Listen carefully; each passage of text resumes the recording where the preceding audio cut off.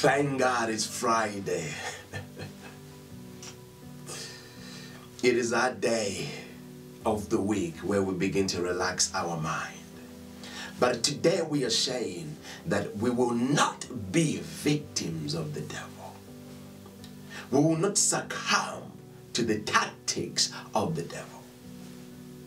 We are using Isaiah 28, I believe it's number 7, as our scriptural reference to wage war against the devil.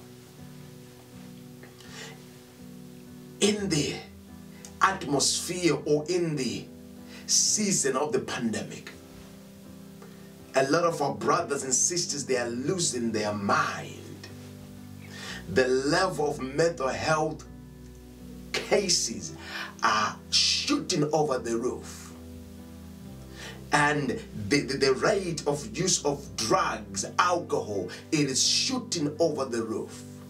But today we are declaring and we are standing with our brothers and sisters that we will not become victims of the arsenals of the devil. We will not become victims to pornography, to drugs, to alcohol. We will not become victim to the attacks over our mind in the name of Jesus Christ. Saints of God, I want you to stand in the gap as you pray today for those whose their faith has been affected by the pandemic whose their faith have caused them to take substance to bring peace to their heart.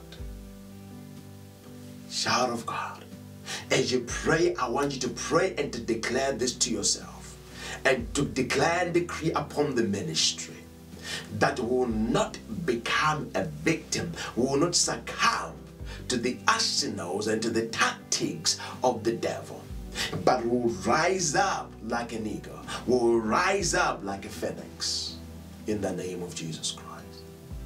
As you pray, I declare and decree upon your life that your life it is rising up.